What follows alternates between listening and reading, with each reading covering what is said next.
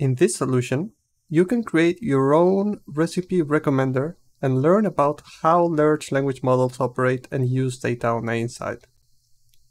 By harnessing the power of generative AI, this solution will guide you in fine-tuning a large language model to generate recipes.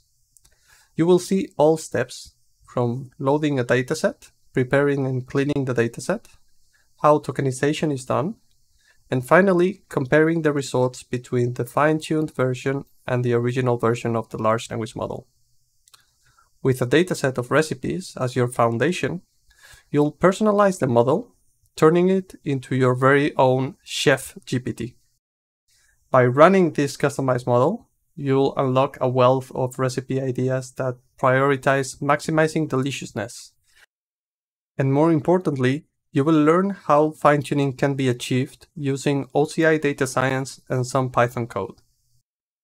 This solution can be used for any domain. Just bring your own data and learn how fine-tuning is performed. This AI solution will get you started.